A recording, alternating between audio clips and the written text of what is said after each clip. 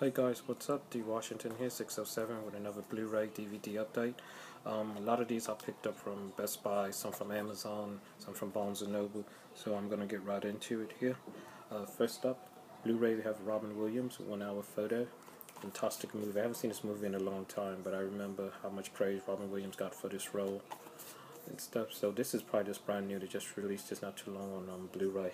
Because, yeah, it says in 2013, which I'm glad they did because I know I had the um, DVD version, and you can see back there it's got a lot of lot of special features on there, which makes it even better. So definitely Robin Williams. Up next, Matthew McConaughey in Dallas Buyers Club. Of course, I got a feeling he is going to get the Oscar for this. I definitely think he's going to get this. I think he deserves it. I can relate to, you know, the AIDS thing. I had an, um, a relative that died from AIDS like in the early 80s, so I can really relate to this, yeah, from Jennifer Garner and Jared Leto, and I think he's going to win the Best Supporting Actor also. So definitely Dallas Buyers Club. Up next, Yo Adrian, we got Sylvester Stallone and Arnold And what is this? Oh, what is it? The Escape Plan. I never saw this in the movies and stuff. So, Yo Adrian and Arnold.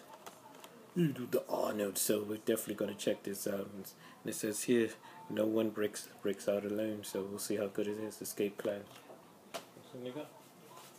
Course, picked up Simon Pegg in The World's End. Yeah, I know everybody's been telling me about this. I've yet to to, to see it, see it, so I'm definitely looking forward to checking that one out. Only picked it up. Up next, I haven't taken these out. Got these from Best Buy for $7.99. Cage and Lord of War. I remember this was such a good movie back in the day. So definitely, you know, Nicolas needs to do more stuff like this. You know, then he wouldn't get you know get all crazy, all the crazy crap he does. It's you know, it's like a good actor. Know, you know, you're a good actor. And of course, with the release of the new RoboCop, I had to go back and get the old original one right there with Peter Weller, RoboCop. You can say this is newly remastered. It's got a lot of extras in in in on the back there. Definitely River RoboCop. Looking like this is the movie that I've been wanting to see. Steve Carell, Ryan Gosling, Julianne Moore, Emma Stone, Marisa Tomei, Kevin Bacon, and Crazy Stupid Love and stuff. I've been dying to look at this. Never had a chance to watch it or get it, so I'm definitely looking forward to looking at that one. Up next, another one that I've been willing to get. Got this for $7.99.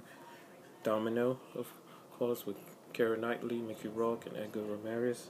Definitely looking forward to this Domino. I never got a chance to see it. It'll be my first time. But definitely looking forward to that. Up next, Jason Statham and, in Scythe. Got this for like seven ninety nine also. And stuff. So Jason usually has good, you know, action movies and stuff. He can be a little bit of a prick in real life, but he's a good action guy. Up next, one of my favorite, directed by Drew Barrymore, Whip It. Of course, and it has Ellen Page, who was in Juno. It's got a lot of people. Marcia Gay Harden, who I love, Christine Wiig, Drew Barrymore, who also directed it, Juliette Lewis, who Jimmy Fallon's in it, that's good, and Daniel Stern. So definitely looking forward to watching that one. Whip it. One more. This is um, Woody Harrelson in Rampart. His district, his rules, plays like a corrupt cop and stuff. Very good movie. He got a lot of praise, praise for this at Toronto Spirit Awards and stuff. So definitely great, great and that's one of the DVDs for some TV shows that I really like. I only got my fourth season of The Good Wife. Now I have all of them from season one to season four. Love one of my favorite shows on television. I love, I love, I just love this show. So good, funny, witty, very good. Then I got um, season two for Two Broke Girls. I like Two Broke Girls. It's a silly little quirky comedy, but I love it. I love it, and and uh, I love Kat Kat Dennings. She's just hilarious, so good. I love it. And this is all of the same show here. Simon, uh, what is this? Oh, season three, of The Mentalist. Simon Baker, another one of my favorite shows. And Robin Tunney. Tunney or Tunney, I'm sure how you say her name. So I have also have season four of The Mentalist. Yeah, actually, I'm starting over with. with I'm, I'm, I'm on season two. I'm starting over. I usually do that. I'll buy the thing. I start over. This last one I brought at Best Buy. I had it for 19.99 and sees the complete fifth season of The Mentalist. Of course, the infamous Red John, of course. So yeah, definitely happy with those. So guys, that's it. That's my latest pickups. Please subscribe, leave a comment. Uh, thank you for watching, and I'll see you guys next time.